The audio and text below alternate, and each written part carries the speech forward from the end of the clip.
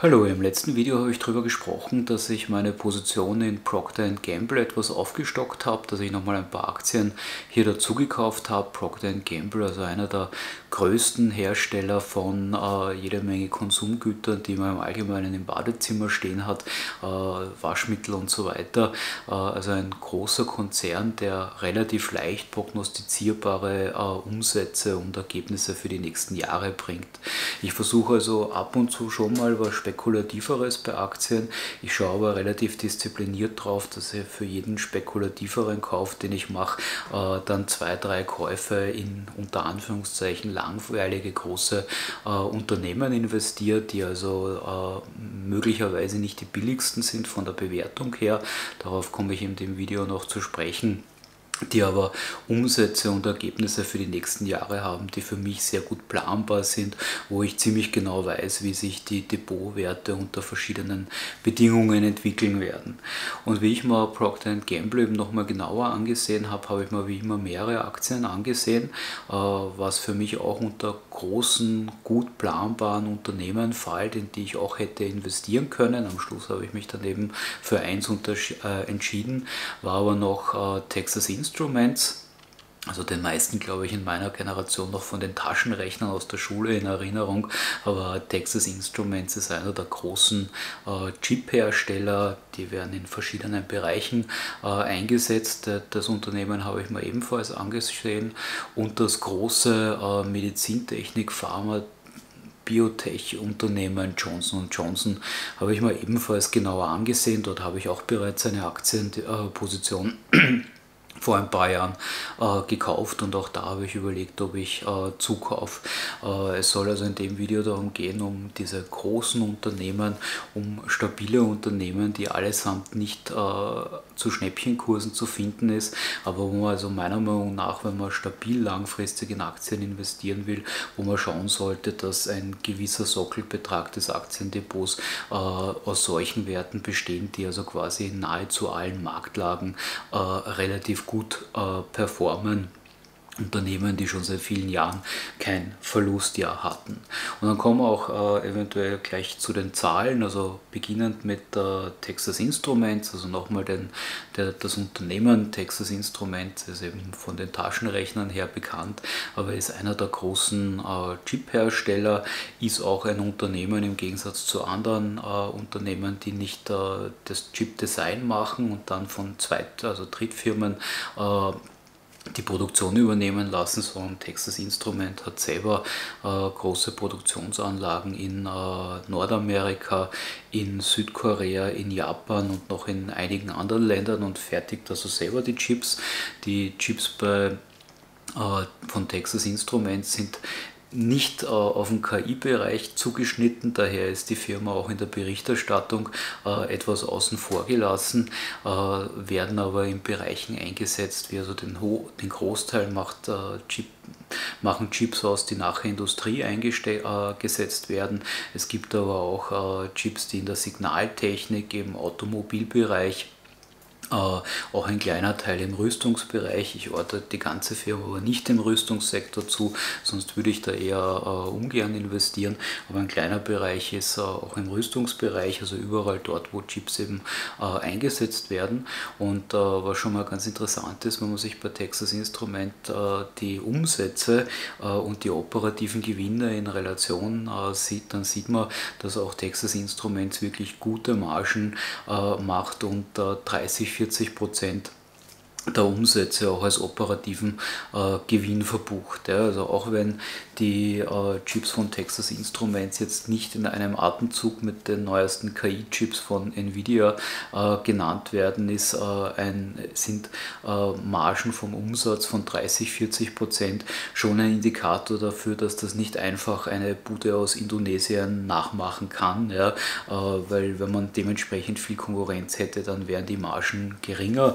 Das heißt, die die äh, in den Chips von äh, Texas Instruments muss, das lässt sich an den Margen erkennen, auch jede Menge Know-how drin sein, das andere nicht so einfach kopieren können. Es sind also hier Chips, die in vielen Bereichen kaum wegzudenken sind, die regelmäßig erneuert werden müssen, wo also auch, den, also quasi Autos werden immer wieder produziert, Signalanlagen werden immer wieder produziert wo also die laufende äh, Nachfrage nach diesen Chips äh, da ist und dementsprechend hohe Margen äh, erlaubt. Die Zahlen von Texas Instruments schauen insgesamt äh, sehr gut aus. Ich habe mir die Firma angesehen, die, die Zahlen von 2016, also ich habe mir den Geschäftsbericht von 2016 äh, angesehen und den von 2023, also relativ willkürlich ausgewählt und die beiden verglichen, habe aber schon geschaut, dass 2016 ein repräsentatives Jahr ist, also kein Jahr, das außergewöhnlich gut oder außergewöhnlich schlecht war, sondern die, die Zahlen äh, verändern sich bei Texas Instrument, wenn man sie sich oberflächlich anschaut, graduell, somit macht das Sinn, äh, zwei Jahre, die jetzt acht, äh, zwei Geschäftsjahre, die acht Jahre auseinanderliegen, äh, sich anzusehen, um ungefähr zu schauen, wie haben sich die Zahlen in den letzten Jahren eben entwickelt.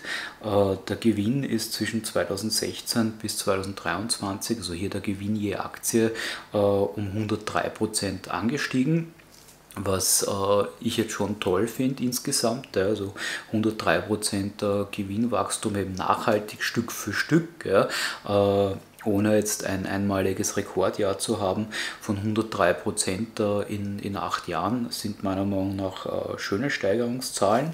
Die Dividende ist im selben Zeitraum, also zwischen 2016 und 2030, um 206 Prozent gestiegen. Als zahlenaffiner Mensch finde ich das ganz interessant, dass sie exakt doppelt so stark angestiegen sind wie der Gewinn je Aktie. Das ist allerdings auch ein kleiner Kritikpunkt. Also wenn die Dividende doppelt so schnell steigt wie, die, wie der Gewinn, ist es eher ein Indikator dafür, dass zu viel Dividende ausgeschüttet wird, beziehungsweise dass der Anteil an, äh, am Gewinn, der ausgeschüttet wird, immer höher wird. Äh, dementsprechend sieht man auch, dass in der Zeit, wo der Gewinn bei äh, Texas Instruments eben um 103% anwächst, die Verbindlichkeiten um 160% anwachsen. Mich hätte es eigentlich also eher mehr gefreut, wenn man die äh, Dividende gleich äh, mit dem Gewinn gesteigert hätte, dann wäre die Dividendenrendite natürlich etwas niedriger, ja. Äh, aber die Relation wäre für mich eigentlich gesünder, wobei man insgesamt schon sagen muss, dass sowohl Verschuldung als auch Verbindlichkeiten bei Texas Instruments äh, extrem gering sind. Ja. Also das ist sicher eine der Firmen, die kein Problem mit der Zinswende haben, die die geringen höheren Zinsen, die sie aufgrund der geringeren Verschuldung nur zahlen müssen, aus der Portokasse zahlen ich bin hier, äh, das habe ich mir jetzt nicht rausgeschrieben, aber irgendwo in einem äh, Bereich, glaube ich, äh, wo die Verbindlichkeiten weniger als das vierfache operative Jahresergebnis machen. Ich glaube sogar deutlich drunter. Also der Konzern, das sieht man auf dem, auf den ersten Blick, ist von den Verbindlichkeiten her, von der Bilanz her sehr sauber, sehr gut äh, aufgestellt. Ja. Also insgesamt ist das äh, Bild bei Texas Instruments meiner Meinung nach ein sehr positives. Also ich bin nicht bei dem Konzern investiert, habe auch eben mich beim letzten Video für Procter Gamble entschieden und noch nicht für Texas Instruments ist aber auf jeden Fall eine äh, Firma, die auf meiner Liste äh, drauf bleibt. Also die Gewinnsteigerungen sind gut, äh, die, die niedrige Verschuldung ist positiv. Äh, aufgrund der hohen Margen sehe ich, dass die Produkte gut weggehen, ja, dass man hier also ein Know-how hat, was in vielen anderen Bereichen verwendet äh, wird. Ja. Äh, ein Risikoszenario, das bei Texas Instruments da ist, ist, es gibt ein paar Theorien, die durchaus sich mit Argumenten äh, belegen lassen, äh, dass die Chipindustrie äh, gerade etwas zu stark gehypt wird und möglicherweise hier deutliche Überkapazitäten aufgebaut worden sind.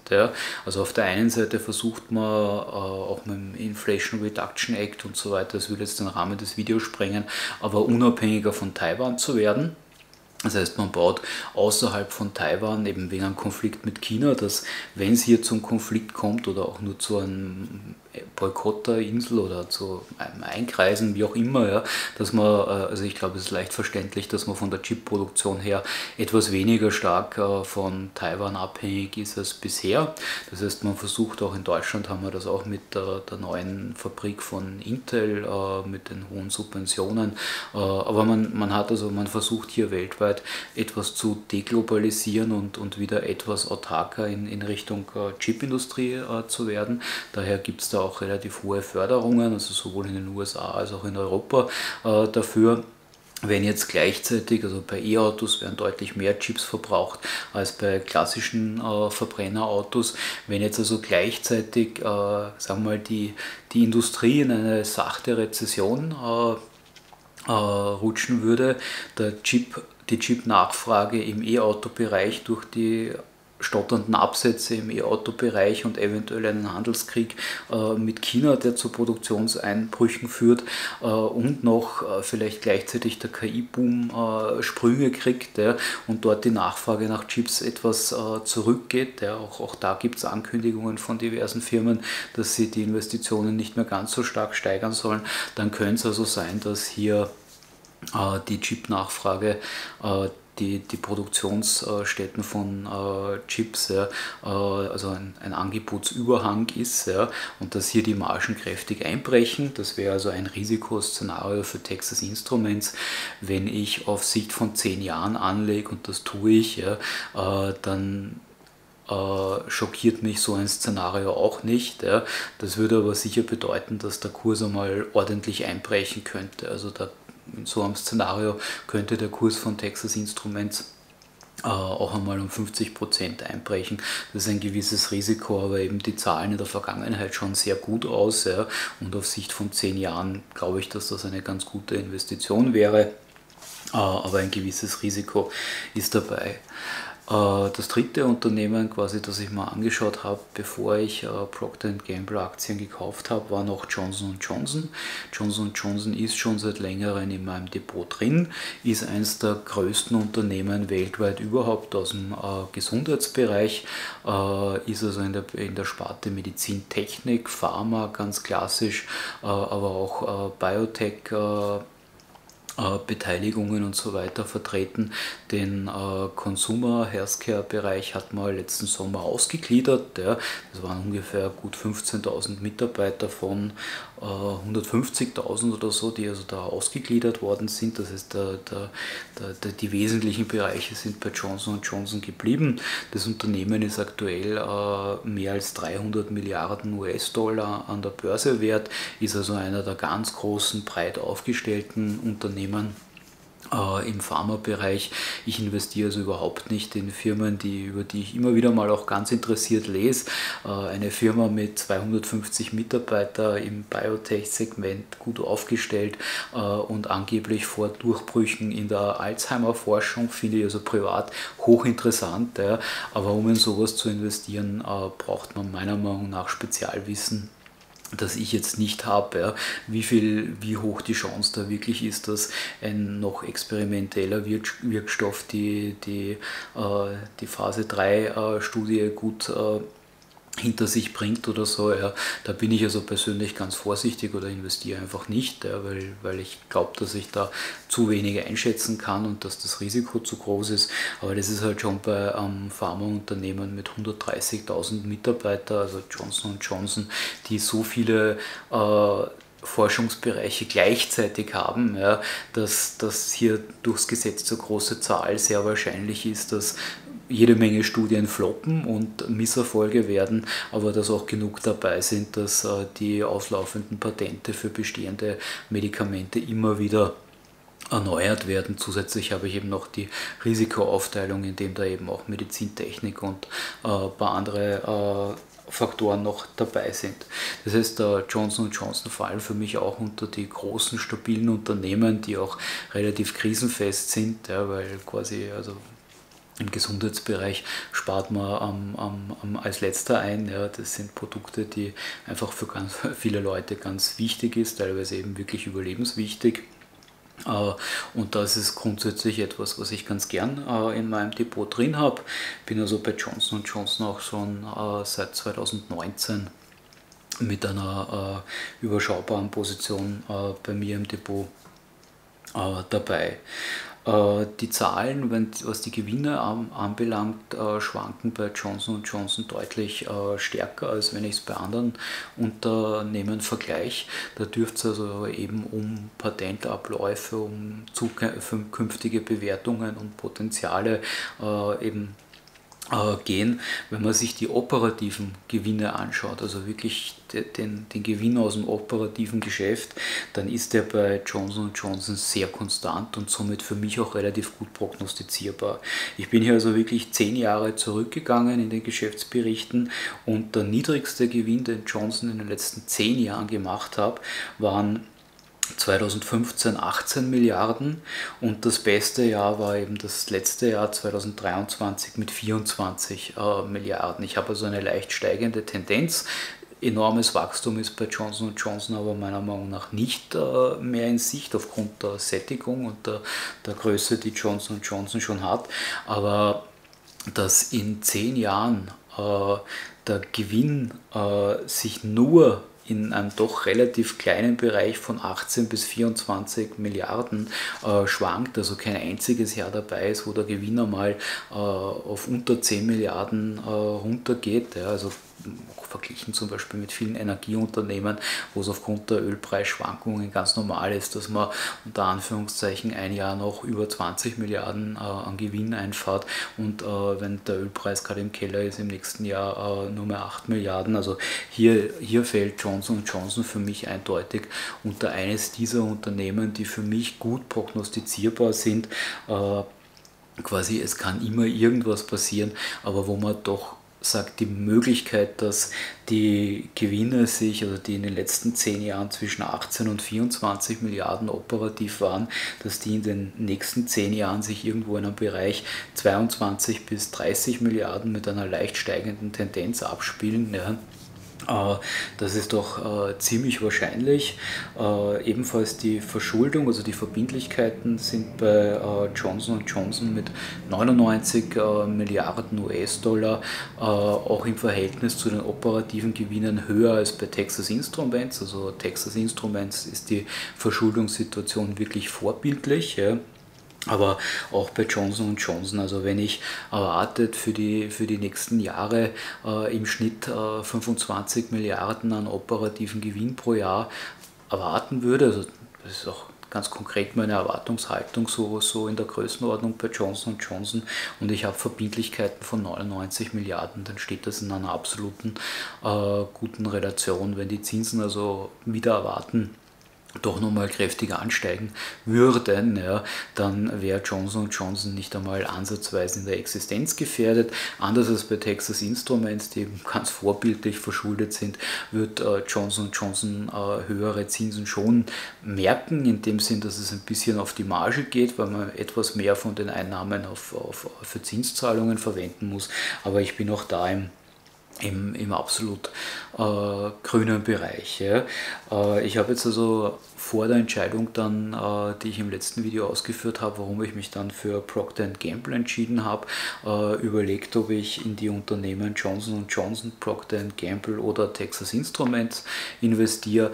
Alle drei kommen für mich gut in Frage, um quasi so den Rumpf meines Aktiendepots zu bringen, weil das alles drei Unternehmen sind, die in ganz unterschiedlichen Bereichen sind, aber deren Produkte so wichtig sind, also bei Johnson Johnson im medizinischen Bereich, beim, äh, bei Procter Gamble im Badezimmer und äh, bei Texas Instruments im Technikbereich, die man jetzt nicht als End-User kauft, sondern in vielen äh, Produkten, die man dann eben äh, als Endgerät dann kauft, wo aber Chips von Texas Instruments äh, drin sind. Also alle drei Firmen sind zentrale große Firmen, die in der Wirtschaft eine Rolle spielen, deren Produkte sehr wichtig sind und die für mich äh, beinhalten, dass ich die glaube, die Gewinne und die Umsätze in den, letzten, in den nächsten Jahren äh, deutlich besser vorhersehen zu können, als das zum Beispiel äh, in der deutschen Automobilindustrie ist, wo die Gewinne also wo die Industrie sich gerade neu erfinden muss, wo, wo teilweise bis zu existenziellen Problemen äh, auftreten können oder auch im, im Bereich äh, von künstlicher Intelligenz, was natürlich schon auch interessant ist, aber wo ich einfach Bewertungen habe, wo, wo sich erst zeigen wird, welche Unternehmen in diese hohen Bewertungen reinwachsen. Das wird bei manchen passieren und welche Unternehmen aber sich vielleicht nicht durchsetzen. Ja, also man vergleiche da einfach nur mal, was Ende der 90er Jahre in der Anfangsphase des Internets an äh, großen Firmen da ist und was heute noch da ist. Also es gibt so ein paar Beispiele wie Microsoft, die die damals schon im Tech-Sektor waren und die zu den großen Gewinnern gehört haben. Es gibt aber auch zahlreiche andere äh, Unternehmen, die damals in dem Bereich äh, tätig waren, deren glorreiche Zukunft vorhergesagt wurde und die dann einfach von einem anderen Unternehmen deutlich überholt worden sind. Das ist im Bereich einer neuen Technologie äh, immer möglich. Äh, bei den drei davor also heute besprochenen Firmen ist das eher nur schwer vorstellbar weil die jeweils in ihrem Bereich schon seit Dekaden tätig sind und da einfach äh, wichtige Warenmarktsegmente seit langem äh, besetzen. Das bezahle ich, äh, wie im letzten Video auch schon ausgeführt, äh, durchaus mit einem höheren Preis. Also es macht durchaus Spaß, mit einem kleinen Teil äh, seiner Ersparnisse meiner Ansicht nach auf Schnäppchenjagd zu gehen und äh, Gewinne zu, äh, und Unternehmen zu suchen, die vielleicht mit einem Kurs-Gewinn-Verhältnis von 6 oder 7 und einer Dividendenrendite von äh, 6% äh, ausgestattet sind. Man muss aber immer, immer klar sein, dass man das mit einem höheren Risiko bezahlt. Die Unternehmen, äh, um die ich, äh, über die ich heute gesprochen habe, sind meiner Meinung nach Unternehmen, wo sehr schwer vorstellbar ist, also in einer Aktienpanik fällt einmal alles, ja, aber wenn man dann nicht genau dann verkauft, ist es also sehr schwer vorstellbar, dass äh, Johnson Johnson, Procter Gamble oder äh, Texas Instruments in fünf Jahren nicht höher bewertet äh, sind, als sie äh, heute bewertet äh, sind. Allerdings äh, ist ist das Potenzial insofern begrenzt, weil die Unternehmen schon nicht günstig sind. Also bei Johnson Johnson habe ich aktuell an, anhand der Analystenschätzungen, die ich mal vorher rausgesucht habe, so im Schnitt ein Kurs-Gewinn-Verhältnis, also zu den erwarteten Gewinnen im nächsten Jahr von 28. Bei Procter Gamble habe ich ein Kurs-Gewinn-Verhältnis von 25. Bei Texas äh, Instruments habe ich ein Kurs-Gewinn-Verhältnis von 24. Das sind also alles quasi Preise der Aktien, die also zeigen, ich, ich zahle hier einen qualitativ höheren Preis für qualitativ hochwertige Unternehmen, hat eben den Vorteil, dass schwieriger vorstellbar ist, dass solche Unternehmen dauerhaft in eine Krise kommen und 80 oder 90 Prozent verlieren. Es ist allerdings auch schwer vorstellbar, dass diese Unternehmen äh, plus 100 Prozent in den nächsten neun Wochen oder auch in den nächsten äh, sechs Monaten machen. Von der Dividendenrendite her sind sie auch nicht rekordverdächtig, allerdings äh, insgesamt auch nicht schlecht unterwegs. Also bei Johnson Johnson äh, gibt es aktuell eine Dividendenrendite von 3%, bei Procter Gamble 2,5%. Und bei Texas Instrument äh, 2,9%. Warum habe ich mich dann im letzten Video oder der, äh, eben beim letzten Aktienkauf für Procter Gamble entschieden. Also bei den Chips ist doch die Frage her vom Timing her, ja, äh, ob es hier bei Texas Instruments nicht eventuell in den nächsten zwölf Monaten noch günstigere Einstiegszeitpunkte gibt. Bei äh, Johnson Johnson ist es doch ein nicht so gutes Wachstum in den letzten Jahren, also ich bin hier äh, 2009, äh, 2019 äh, bei Johnson Johnson eingestiegen äh, bei der Aktie, habe in der Zwischenzeit meine 3% Dividende bekommen. Die Aktie ist heute um 11% höher bewertet, als ich damals 2019 gekauft habe. Also äh, insgesamt etwas, wo man schon zufrieden sein kann, aber es, es gibt auch noch deutlich mehr an der Börse.